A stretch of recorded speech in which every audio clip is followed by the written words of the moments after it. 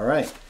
Welcome to the Marriage Boss podcast. And today I'm really pumped up because I've got a special guest who was uh, referred to me by a dear friend to both of us. Um, today I've got Nate Wagner on the show today. And Nate is a husband. He's got a beautiful wife, two adorable daughters. One who I met the other day when we got a, like a pre-game talk. She happened to be with him at the library, totally adorable. Um, Nate is a therapist who helps build strong marriages. His life's work is to eliminate the stigma related to mental health and suicide loss. He lost his brother to suicide 13 years ago, and he's now working with an editor to finish his memoir, which he hopes to release in uh, September of 2016. Nate, welcome to the Marriage Boss podcast. Thank you. It's a pleasure to be here. And it's a pleasure to have you. And uh, so we got a chance to talk a little bit the other day and kind of get acquainted. And uh, I, uh, as I mentioned, I believe very strongly in the message that you're sharing. I, as a matter of fact, took uh, a quote, uh, uh, an actual post from a Tim Ferriss blog, which Genev, thank you, Genev, gave us in an email. And I actually shared it with my sons and my wife, and we had dialogue about it already. So I know that that is something that is near and dear to your heart when people share this message. So, so let's just jump in. Do you want to tell us a little bit about you? Just give us a little background on you first before we jump into the questions. Sure. Yeah, I wanted everybody to know that I, what you said in the bio, that I love my family, and that's why I'm doing what I'm doing. And uh, like I said, I lost my brother 13 years ago to suicide, and it rocked my world. And it actually is helped me to be a better person and i want to share the hope that i have gained through all of this that there is hope out there. And and so i do a lot of work with couples and that's kind of partially why we're here today. Mm-hmm. um, and i'm super passionate about that because as we work with couples you know as well as i do that and your audience knows that the couples impact their kids which impacts their kids which impacts their kids. And that is such an important part of what I do. It's probably the hardest that I do when I have two people in the room that aren't getting along real well, but it's when I can help them see eye to eye and take time to communicate and to really share what's going on and what they're experiencing and see them reconnect is just there's nothing like it yep. and then i'm kind of connecting the suicide piece, which is definitely um, a unique part of what I do that I don't hear a lot of talk about. So I really want to um, eliminate that stigma associated with the suicide and mental health and getting help because we all need to get help. Awesome. So why don't you tell us uh, at this juncture, um, how do you combine suicide prevention and marriage counseling? Yeah, that's a great question. And I think that it's basically on a case by case basis. It's not like an everyday thing that I get to do this. But by helping strengthen marriages and uh, by them coming to me for help, I, I think that's the biggest barrier that I have is people coming to get help so late. So if you're out there, you're having a little bit of issue, come get help. Talk to Rick, talk to me. Um, get help before it's so far along. Mm-hmm. Um, and so as far as combining the suicide piece with the marriage piece, I'm work I'm it's a work in progress and I'm really trying to help my clients understand that um, if there is a suicide loss, that that is going to hammer the marriage. Uh, my parents actually got divorced as partially as a result of, of my brother's suicide and I want to reverse that statistic that's out there.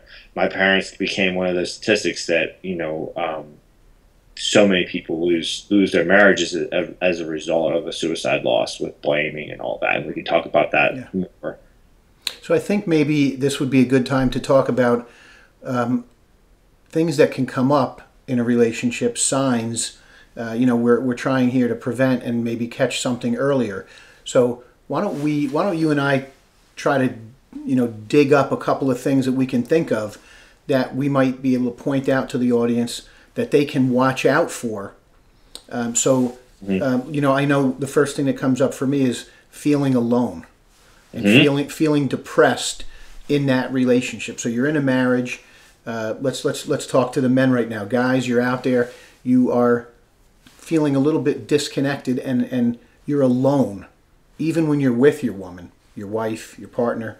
You're feeling like you're starting to feel maybe there's a depression coming over you of some sort. It's not controllable anymore. You can't just fix it by you know taking your mind off it, reading a book, having a drink, dealing with whatever you still feel the same way the next day, the next day. You're alone, you're disconnected, and you're just really frustrated. Absolutely. That's that I'm feeling alone, but I'm with other people. Yeah. And that's where um, part of that's certainly anxiety as well. Mm-hmm. Um, we can feel that and I think that what happens is when we start to feel alone, then we start to pull away from our spouse or our loved ones. And what happens is that we no longer are going to the people that love us the most to help support us. Yeah. And so there's the partner, the spouse feels isolated from that person and then then conflict ensues and yeah. then you might seek another way to connect and it could be to a substance to an activity mm-hmm. to actions and uh, you know doing things that may be destructive um, and cause you either to disconnect more to self-destruct in your life more financially emotionally physically spiritually um, you know you could engage in the wrong behaviors at a time like this to try to either numb the pain, mm-hmm. recover that feeling of togetherness, and or you know solve this issue. So this is a good time to reach out for help to anybody. Certainly, your spouse is, is, is a good person. Say, listen, I'm feeling I'm feeling disconnected. You know, I was in a room full of people the other day, and all I could think about was myself and how alone I felt. So these are some of the things you need to say to just step right out of that and just tell somebody. So, you know, out yourself. Mm-hmm. You know, guys out there are, listening to this. I'm not going to do that. I'm too proud. So shame kicks in. Vulnerability issues kick in. We've got to realize that when we start to feel different than we used to feel when we liked how we felt, that's the time to say, I have a problem of some sort. I don't know what it is. And so, you know, this whole topic, but certainly any kind of thing that makes you feel not yourself, you got to tell somebody, listen, I'm, I'm feeling strange. I'm feeling something weird. I'm feeling lost. So we've got to be able to say these words. You know, you can practice saying them in the mirror first. Make a recording, send an email, text somebody. Just say, I need help with something. Can we talk? Mm-hmm. And uh, yeah, and that can be simply over a, a cup of coffee with a friend. Yeah. I mean, the the beauty of coming to a therapist is that we're able to be objective. We're not we're not a friend. We're we're not gonna we're not a part of your environment, and so we can be objective. And so that's the beauty of it. But you can go out for for coffee or for wings or whatever the case may be and talk about this with your friend and they can support you and they can be like well i think you might need to kind of maybe get a little bit more help than i can offer and, and, and professional help might be might be necessary but the point i'm trying i want to make is that it's it's it's that relationship. The best part, and I was just talking with a colleague about this just a few minutes ago, that what works in therapy in relationships the reason that it works is because of the relationship. We call it therapeutic alliance in in my world but it's simply relationship and connection. And and that is what really makes the difference. Yeah, and I know when you and I talked uh, a couple days ago, we talked about the value um, of having friends and being able to go out on a casual basis, you know, have wings and a beer. uh, tonight I happen to be going out with uh, one of my best buddies who I know for 47 years, 48 now. Mm-hmm. Yeah. We try to go out every month. We play pool, we have dinner, we have a cup of coffee, and we just chill. And I'm, I'm going to tell you now, Nate, that is therapy from the minute we see each other and we get that first hug in all the way through me mm-hmm. whipping his ass at pool because I whip his ass regularly. If he's listening, you know you're getting your ass kicked tonight, Steve. And so, and and but we're going to talk about our marriages, our family issues, our health issues, our celebrations, our victories, our failures, and we've been doing that our whole lives. So mm. that is someone that you can count on. And so if you feel yourself being disconnected from your friends, that's another sign that you need to get some help. If you if you're connected to your friends and you can, can go out and have that, you know, that friend discussion, which is therapy, then good, go do it. Do more of that, and maybe even that friend can help you or get you some help if you feel like you're going in the wrong direction. So let's jump in now to um, why should we talk about suicide loss and prevention? Because it's not something that everybody talks about regularly.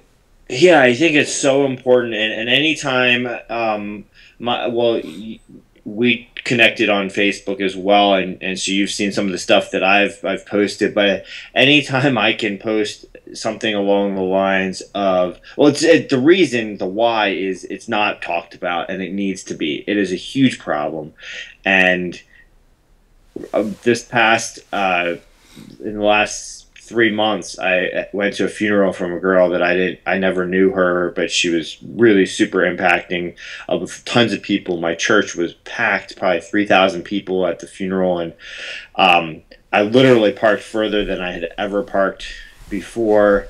Wow. Um, in you know, I've been a part of that church for a long, long time, and um, I went because I was like, I want to know what's going on and, and what happened here and, and all that. And um, I wanted to be there to be a support. And, and it's just so hard for people to reach out to somebody Yeah. for talking about this. So we got to break down those barriers.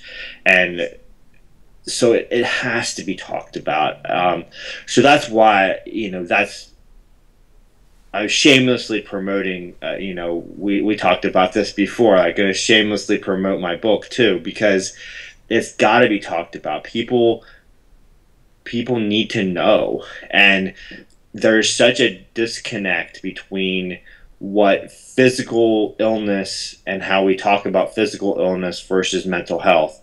There's this post that I got to get to you, and I don't know if you've seen it.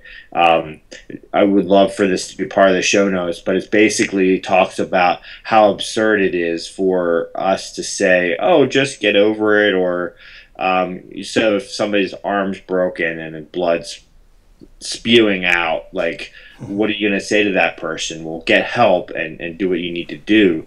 But when somebody is hurting in an emotional sense, we just say, you know, get over it, Yeah. pick yourself up by the bootstraps, all of that. And so this is a huge passion of mine, and it's not like it's in a lot of ways it's even greater than the at least equal with the marriage piece because um, I think that we we have to share about it. And I'm gonna put out there like I posted um, yesterday that you know I was thinking about my brother and I'm thinking the positive the positive things uh, about my memories of him.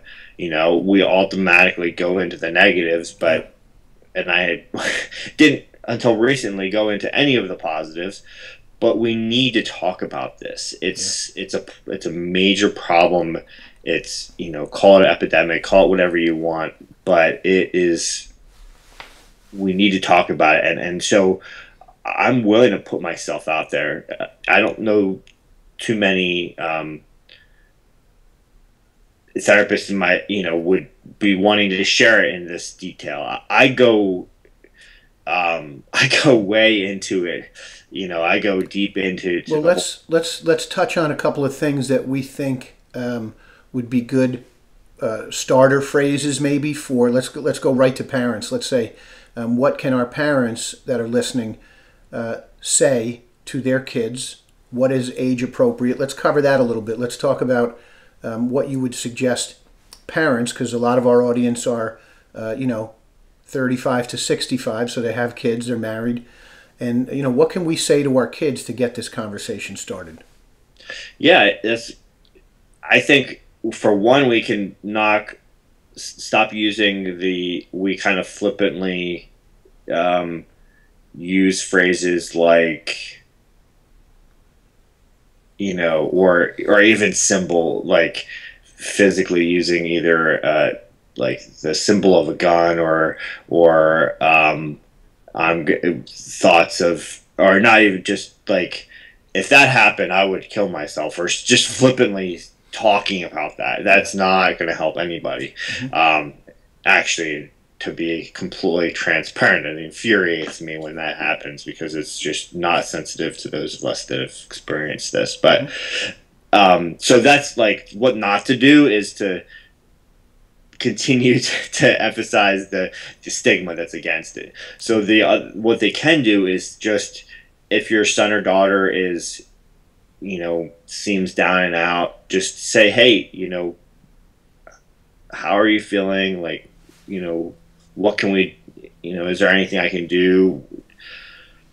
How can I help you? What's what's going on?" And having that again that rapport or that connection with your kids. I have, you know, I have a four year old and um, an almost one year old, and you know, I'm trying to have that connection with them so that I can make sure that they can communicate if they're feeling a certain way towards to me. Well, I can I can tell you that from my own experience, and this goes not only for me as a parent, and I thought about this early on, um, but also in all our relationships we have to make emotional deposits ahead of time before we want to make a withdrawal. And mm-hmm. having a conversation about suicide could be perceived as a withdrawal from that kid. So I'm giving advice right now, people. This is advice. Make emotional deposits. So ask your kid how you're feeling, how you're doing every day. So when it's time to notice a change and say, how you doing? Can we talk about something serious? I have a link I want to send you about a post regarding mm-hmm. suicide. You're not having that discussion for the first time and you're not asking that kid how they're feeling only because you've noticed a change in them because at that point it could be too late.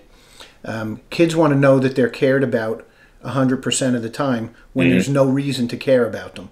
When you have a reason to care about them, it could be too late. So make sure you appreciate the people around you um, if it takes thinking that they could all be gone or you could be gone tomorrow, then think that way. Because you know what? That's true. I mm-hmm. could be gone. Nate could be gone. Any of us could be gone tomorrow. You know, I experienced the loss of my father at 19. I didn't expect him to die, and he did. So uh, it was very hard to deal with that. So, so realize we are all very vulnerable. Uh, we can't control this. Um, you know, I use the example when I when I met Carol and I, I got to know her a little bit, I have like a you know like an ADHD type of personality. So uh, she's a very practical, stable, conservative. You know, so she couldn't really understand a lot of the ways like my brain thinks, and because I didn't look like I had any kind of a a disorder or a condition or whatever you want to call it. You know, I know in the psychiatric community there's a million arguments about how to label this, but whatever this mental difference was, in me and her or emotional. Um, I used to say to her, "Listen, honey, if I either you know had a, had that broken arm you said that was bleeding, or mm-hmm. I was in a wheelchair, or I had to have some kind of protective device or crutches or or something that you could see to know that I had some kind of uh, disability or handicap, it would be easy for you to identify this, mm-hmm. you know, condition or this difference between us. But because I don't, you can't really you're expecting me to think and act like you do. And mm-hmm. i don't. So uh, now we have obviously after all these years we're together 30 years we have discovered why this is a gift and why it, because of how i do what i do I've, I've figured out how to use it to my benefit and to the benefit of the world around me. But when i was growing up and in, in school it was horrible. So so realize there's so much behind what's going on mentally in our heads and in the heads of the people around us, our children especially, our spouses. So for all of you out there listening about, you know, your spouse is different than you. You know, they don't think or act the same way as I do. I don't know why because they should because my way is better. That's one of the reasons we're here today is to have this discussion because if someone is acting or, or thinking differently, that's the time to have the discussion and say, you know, what's going on? You know, are you thinking differently because that's really your brain chemistry? Or has something happened in your world at work, in your relationships, physically or emotionally, that's causing you to, to need to have this discussion right now? So, so we need to talk to each other more often and ask questions mm-hmm. when we don't think there's anything wrong. So when we do think there's something wrong, we've made enough deposits so that our bank account is overflowing. So when we take a withdrawal and say, listen, I need to talk to you right now about something serious, if that's either you or you feel like something's going on with your spouse, child, coworker, sibling, parents, that's the time. So make emotional deposits so you can make a withdrawal and ask the question. Yeah, I, can I just give a book recommendation yeah. uh, in regards to that? Um, you probably already know what I'm going to say, but the Five Love Languages, uh, Gary, Dr. Yeah. Gary Chapman, um, that is the book.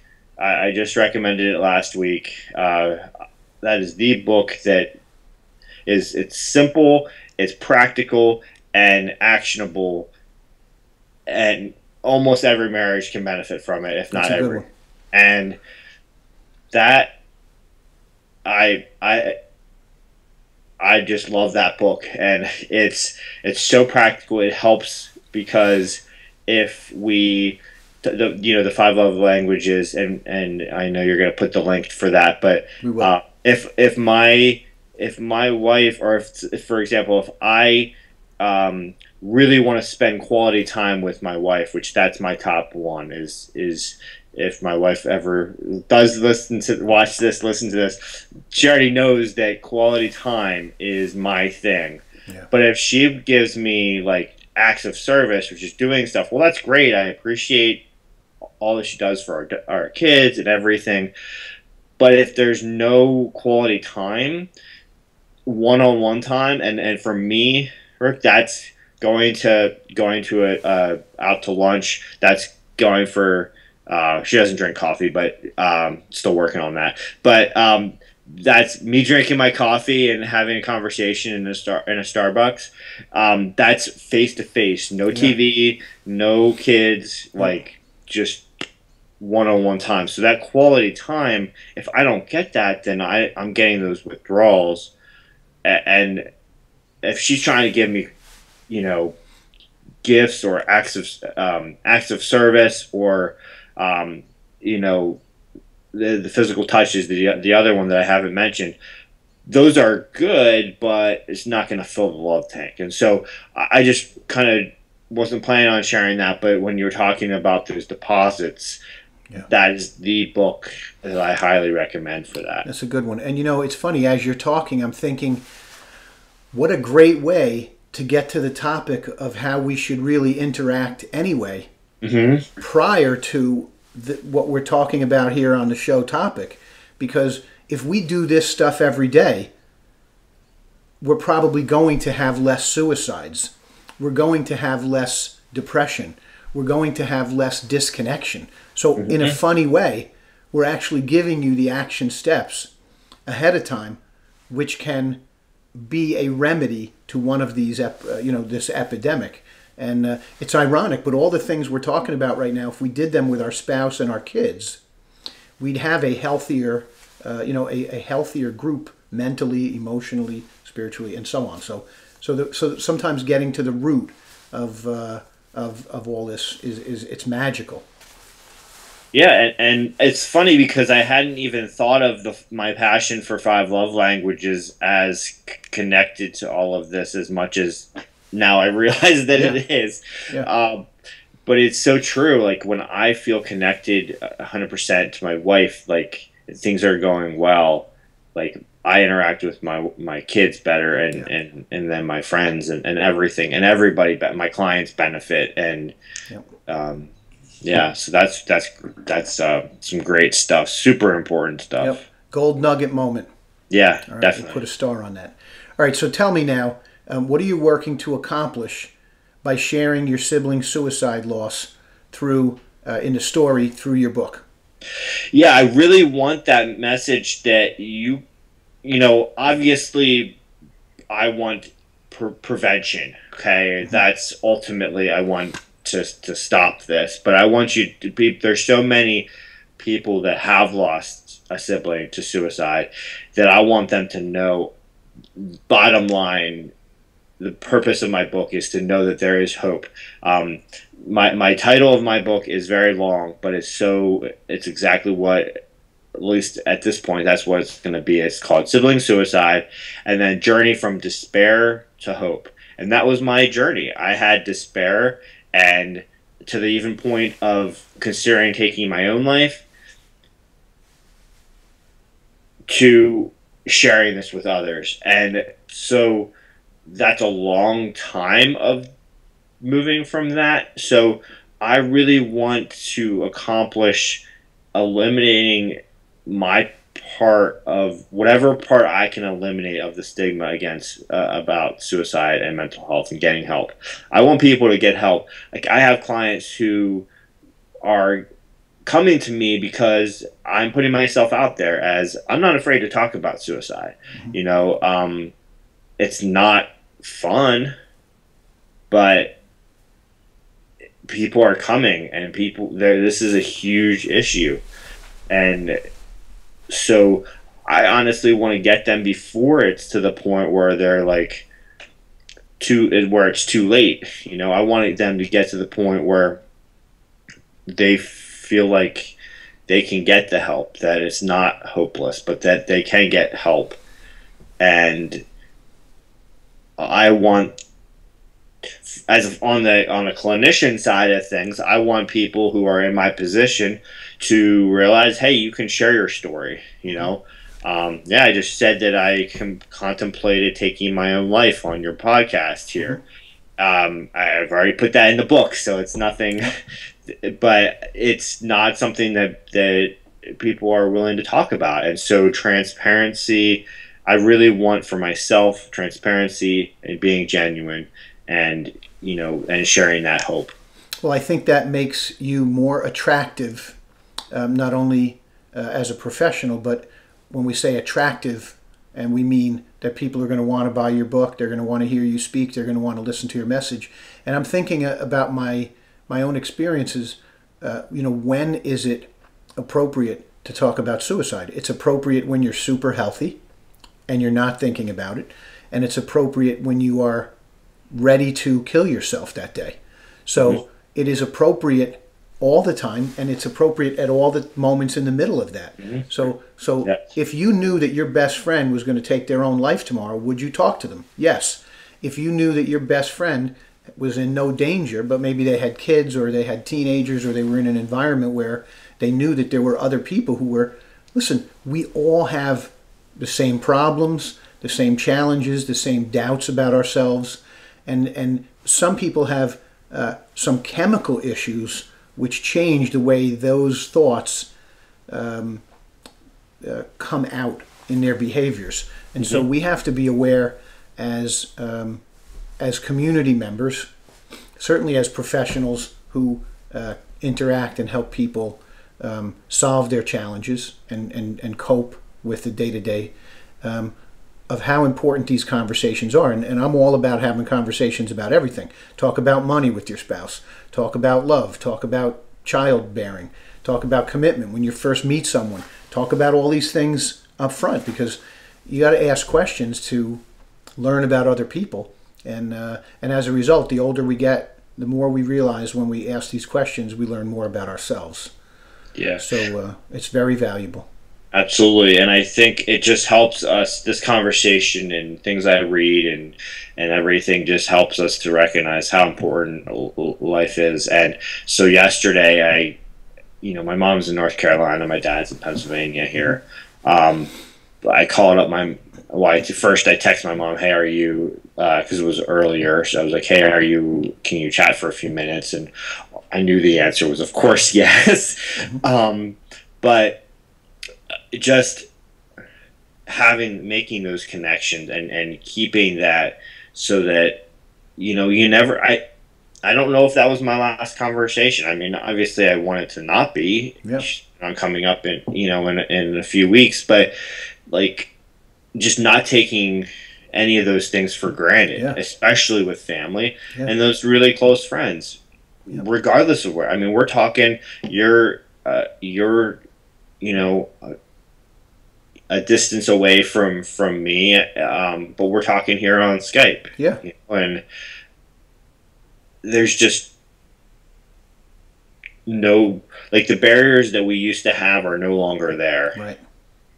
and so reach out get make that so here's an action point i guess is what i'm trying to say like is just reach out to somebody yeah, i don't care like they're doing great excellent Yeah. reach out to them if they're not if they're not reach out to them Yep. because it's you never know and i love what you said rick about like regardless of if they're doing well or not you know developing that relationship with your kids with your spouse with your friends where you can help be there to help them Yeah.